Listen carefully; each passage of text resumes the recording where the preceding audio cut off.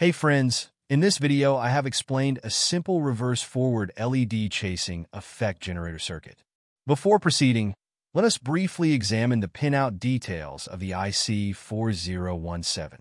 The IC4017 is a dual inline DN integrated circuit consisting of 16 pins. This integrated circuit features 10 outputs that produce sequential high outputs in the following order. 3, 2, 4, 7, 10, 1, 5, 6, 9, and 11. The sequencing occurs in response to a frequency applied to pin 14 of the IC. Pin 16 serves as the positive supply input, while pin 8 functions as the negative supply input or ground. Pin 13 is designated for clock inhibition.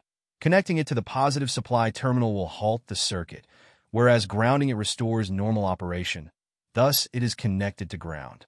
Pin 12 is the clock carryout, which is not necessary for single 4017A applications, so it is left unconnected. Pin 15 acts as the reset pin, resetting the output to the initial pin in response to a positive signal. The reset pin, pin 15, is linked to pin 9, meaning that the output resets each time the sequencing reaches pin 9. When this pin goes high, the IC repeats the process by resetting the system. Pin 14 is the clock input, which must receive a square wave frequency, easily generated by any astable oscillator, such as those made from ICs like the IC555, IC4049, or transistors. Let us now examine the operation of the circuit.